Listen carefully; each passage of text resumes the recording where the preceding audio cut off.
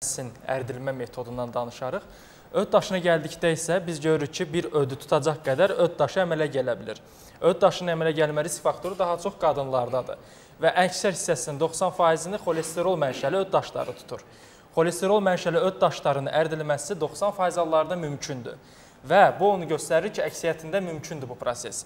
Və öd daşlarının əmələ gəlməsində iştirak edən xolesterol bizim ümumi mübadilədə iştirak edən bir fermentativ xüsusiyyətə malik olan maddədir.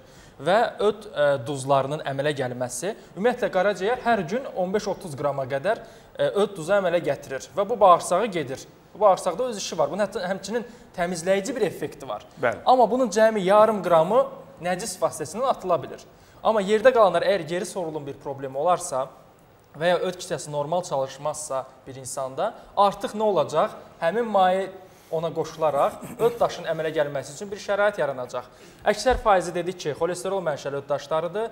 E, ən az faiz tutur bilirubin mənşəli və miks daşları qeyd edək. Və o daşlar əmələ gəldi. Əvvəl-əvvəl daş əmələ gəlmir. E, yəni illərlə baxmadıqda öd kisəsinə onu da bilmək olar ki, Bunda 6 mı, 7 mi, 10 millimetrdə bir daş əmələ gəlir. O kiçik-kiçik kristal olaraq əmələ gəlir və böyüyüb daha möhkəmlənə bilir. İnfeksion proses də qoşula bilir. Məsələn, e, bakteriyalar. Bakteriyalar qoşulduqda artıq oranın mühiti dəyişir. Öd kisəsinin e, öz içərisindəki mühit də dəyişir və qatlaşma deyilən bəli, qatlaşma da artır, həmçinin o iltihab da verə bilir və bu bakteriyaların da özlərinin buraxdığı fermentlərin sayəsində bu daş daha da möhkəm bir daş olur, belə qeyd edək və bunun ərdilməsi daha çətin ola bilər. Bilirubin mənşəli daşlar da müəyyən bilirubin e, mübadiləsinin pozulması ilə gedən xəstəliklərdə daha e, çox yarana bilən xəstəlikdir və bu öd daşları da əriməyə, e, yəni çətin olur, əriyə bilmir. Biz e, bütün öd daşları ərimir, onu necə bilə bilirik? Çünki heç kəsin öd daşını götürüb ona baxa bilmərik ki, sənin e, xolesteroldur yoxsa bilirubin mənşəlidir. Bunu belə bir metodla etmək olur ki, e, rentgen şüaları altında baxılır rentgenlə və bu şualarla rentgen pozitiv, rentgen neqativ daşlara bölünür. Rentgen pozitiv və rentgen neqativ daşlara bölünməsinə görə öd daşı əriyə bilir və əriyə bilmir. Mülahizəsini irəli sürmək olur. Və burada ölçü önəmlidir, öd yolu önəmlidir ki, bu insanda öd daşı var və yaxud öd yolunda da varmı, yoxsa yox. Bunlar önəmli prosesdir. Biz bu gün öd daşının ərdilməsi üçün çox gözəl, çox maraqlı və belə deyək ki, həqiqətən effektli bir metod göstərəcəyik və yaxşı olar ki, hər kəs diqqətli olub bunu baxsın. Fikət müəllim, mən qeyd edeyim, siz hazırlayın. Elə isə başlayaq.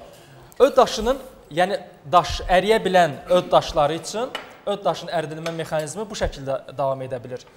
Birinci ilk götürürük. Məsələn, bu ə, araşdırmalara görə toyuq çinadanının pətənəsi qeyd olunur. Orada sarı lövhə var. Ekranda versələr mən onu göstərdirə bilərəm. İndi göstərəcəklər. Həmin ə, e, pətənəsini götürülür. Ə, o ki toyuqdan götürüldükdən yəni, bu sonra pətənə. Bəli, çilədan bəli. deyil, pətənə. Pət və oradan İndi göstərəcəklər. İndi onu da baxın.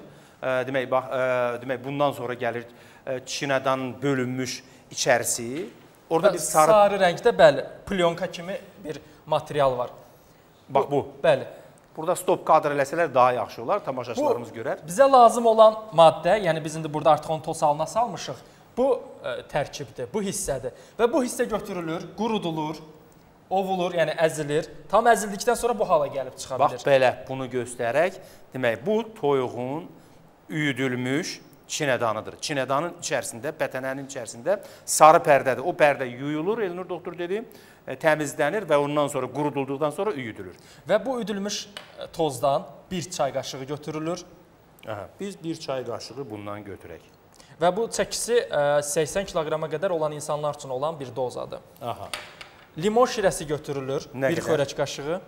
O zaman, yəni biz belə eləyək, bir xörək qaşığı limon şirəsi. Həmin ə, əldə etdiyimiz bu çinadanın tozunun üzərinə limon şirəsi əlavə olunur. Bax, düz bir qaşıq əlavə olundu. Bir çay qaşığı zeytun yağı götürülür. Bu da zeytun yağımız. Özdə zeytun yağı yaxşı olardı ki, rafinə olunmayan zeytun yağı olsun. Çün e, qaynanmış zeytun yağında demək olar ki, müalicəvi effekt yoxdur. Bunu nəzərə alsınlar. Və bu üç komponent qarışdırılır. -hı. Qarışdırıldıqdan sonra tərkibində yenə də qeyd elədik, çinədanın tozudur, qeyd elədik. Bir çay qaşığı, bir xörək qaşığı limon, limon suyu və bir, çay, qaşığı da zeytun yağı. Və bunlar qarışdırıldı. Qarışdıqdan sonra ümumiyyətlə bu çinadan biraz acı dada malikdir. Limon da biraz acı dad yarada bilir. Və bunlar hər biri qarışdıqdan sonra tam həll oldu. Toz həll olduqdan sonra Fikret müəllim göstərdiyi kimi ona 50 milli su əlavə olunur daxilə qəbul olunanda.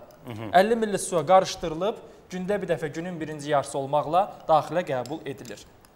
Yəni ac qarına Ac qarına, yəni biz belə qeyd edək, saat 7-8-də e, səhər yeməyi yeyən bir insan üçün 11-12-də qəbul demək edə buradan nə qədər götürülür? Bundan hazır olmuş bütün məhlul götürülür, 50 milli suya qarışdırılır. Buna cəmsi 50 milli su qarışdırılır və bu daxilə qəbul olunur. Deməli, gündəlik bunu hazırlamaq lazımdır. Gündəlik hazırlanılır. E, istifadə müddəti 24 gündür və daşların sayından, öd daşlarının ölçüsündən asılı olaraq fasilədən sonra müalicə yenə də davam edə bilir. Bu çox rahat əldə olunan bir e, üsuldur və qeyd edim ki, araşdırmalar aparılıb ki, həmin o bizim göstərdiyimiz e, çinədanındakı olan o sarı lif, həmin o plyonka kimi maddə, o özü fermentlər ifraz etməyə başlayır. Necə ki, toyuğun qidalanması zamanı o daşların əridilməsində belə təsir göstərə bilir və e, çox yaxşıdır ki, xolesterol mənşəli e, və rentgen neqativ öd daşları əgər təsdiqlənirsə, bunların 90% halda əridilməsi mümkün olur.